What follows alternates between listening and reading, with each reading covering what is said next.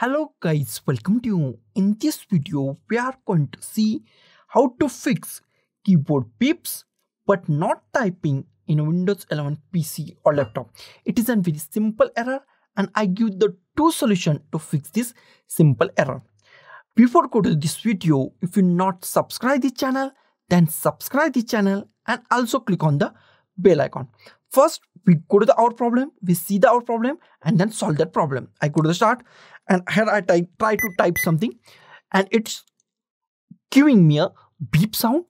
And in some cases it's give a beep sound. In some cases it's not give a beep sound. And we are going to solve this. Our first solution is very basics. Go to your shift key go to your keyboard and press shift key for a five times. One two three four five.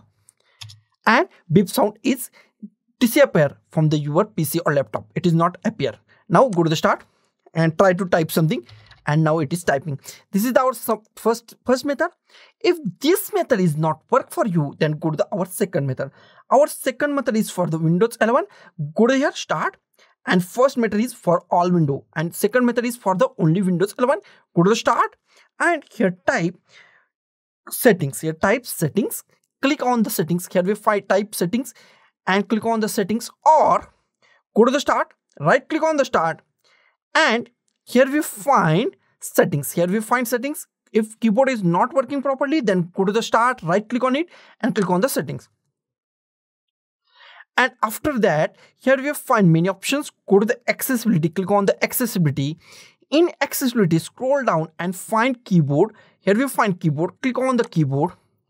And here we find sticky key, filter key, toggle key. If it's on, these keys are on or this all screen, all things are on, then disable all these things. Sticky key, off it, off it, off it, off this also on screen keyboard, underline access keys and here we find on then off it all of these all things then close this and restart your machine and after that your keyboard beep sound and not typing issue is fixed 110%.